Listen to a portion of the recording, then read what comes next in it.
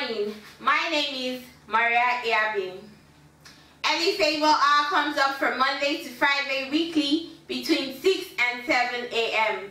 Come and launch yourself into a glorious week and be part of God's move in this end time revival. A Digging Deep service holds this Tuesday. It promises to be insightful and impactful like never before. Come and be fed with the nutritious spiritual food you need to grow. Time is 6.30 to 8.15 p.m. Please don't miss it. Our Wednesday House Fellowship meetings hold at different centers from 7 to 8 p.m. Please locate the center near you on the notice board or at the back of the bulletin.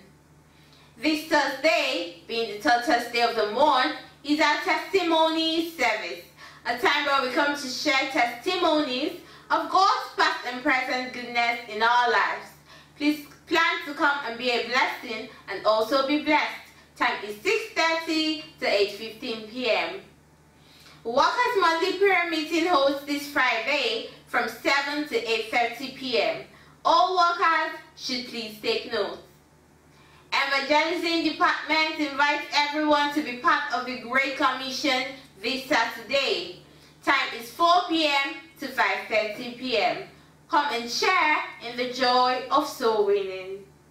Next week Sunday is our Broadview Sunday, being the third Sunday of the month. The topic for discussion would be solution. Come prepared to be blessed and be a blessing to others. TFC partners are highly appreciated for their contribution towards previous Thanksgiving services. God bless you. New partners are welcome.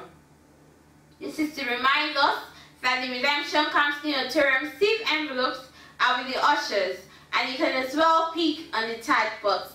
God bless you. Advertisement placement is available in the church bulletin. For more information, please see the head of publication department or call the numbers for that purpose in the bulletin. Also, kindly send your summarized testimonies or articles, if any, to this email address, krpjournals at gmail.com or drop with the church 63. Thank you. Members of the hospital unit are reminded for their visitation later today by 4 p.m. These are brethren who visit hospitals with some items to be a blessing to the sick. They meet for visitation every second and fourth Sunday of the month. New members are welcome. The Welfare Department appreciates everyone who has been giving through the welfare box. The box is by the main entrance of the church tagged welfare.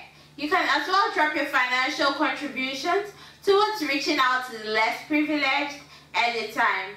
God bless you as you do so. Our Family Fun Day 4 is around the corner. This comes up on the 12th of November 2016. Please be a part of it by planning in any of the departments and also by giving your contributions. Opportunities are also available for sponsorship to companies and individuals.